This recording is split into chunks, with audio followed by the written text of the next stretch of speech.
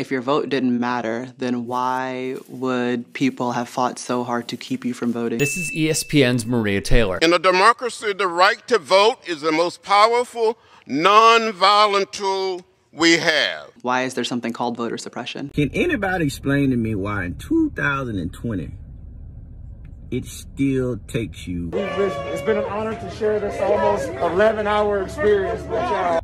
just to vote? I don't want everybody to vote. Our leverage in the elections, quite candidly, goes up as the voting populace goes down. Why did it take till the 60s for poll taxes to be removed? Why did black people have to wait for amendments to be passed in order to vote? People have been fighting to keep people of color from coming to the polls and recognizing their power for a reason. We do not want our freedom gradually, but we want to be free now. But I'm not going to give up. If I give up, then what am I saying about my future kids? What am I saying about the future of my community? Black people in the South couldn't register to vote simply because of the color of their skin. We're all going to have to step forward, put our fears to the side, not let that narrative drive us, and let the strength of our vote, of our voice, of where we are right now matter. It has to matter. My name is Maria Taylor, and I'm voting because of voter suppression and lack of educational resources. Maria Taylor has dealt with her fair share of BS simply because she is a black woman in sports, and as Malcolm X put it, The most disrespected person in America is the black woman. When former Georgia standout and current Buffalo Bills quarterback Jake Fromm was exposed for saying only elite white people should be allowed to purchase firearms, Taylor expressed her true, authentic view on the matter. As a black person in America, you go throughout the day assuming that people are not racist or that they do not have prejudice in their body because if we don't, we'd be mad all the time. Taylor took a page out of a leading voices playbook here, and that voice is James Baldwin. To be a Negro in this country and to be um, relatively conscious is to be in a state of rage.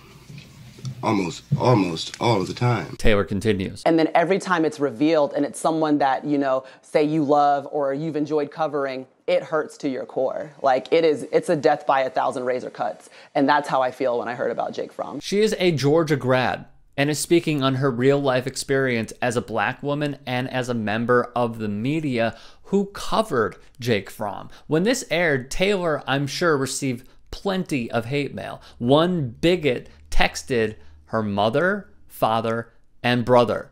Here is what she shared on social media. Wow, another big night for the trash affirmative action hire, whose job is to literally stand around and ask stupid questions and make everything about the terroristic BLM group. What a blank joke this blank likes to put people like Fromm on blast for speaking the truth. It's positively factual that if you remove guns from blacks, we have less crime, less murder, and less trash blank behavior in general from bad people, like literally. 100% concurrently, you get the guns out of the blank hands. We watch crime drop, scientific. Yet that trash blank Maria Taylor has to talk about 1,000 knives poking through, make everything about BLM and whine about race and emotions when it's facts. You are the worst trash to watch on TV, and it's a shame ESPN is a bunch of scared basic trolls who let you do the best events. When Taylor went from NBA Countdown to being a reporter on Monday Night Football, longtime Chicago sports radio host Dan McNeil well, took a jab at her for no reason. He wrote on Twitter NFL sideline reporter or a host for the AVN annual awards presentation. AVN stands for Adult Video News. Taylor responded as well as anyone could when she was put in this difficult situation that she didn't ask to be put in.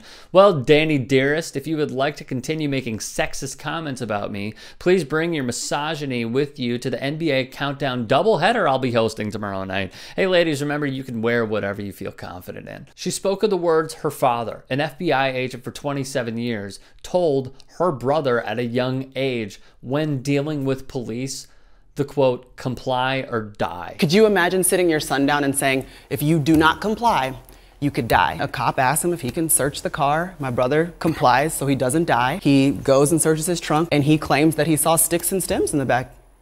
You know where they took my brother?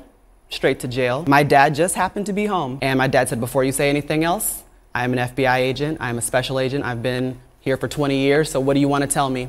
And the police officer said, Why didn't he just tell me that he was the son of an FBI agent? What if my brother didn't have the privilege of having a father who worked for the government?